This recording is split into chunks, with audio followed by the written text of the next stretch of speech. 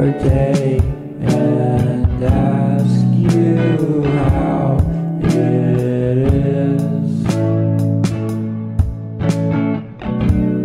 Why are you being cruel when we could have all this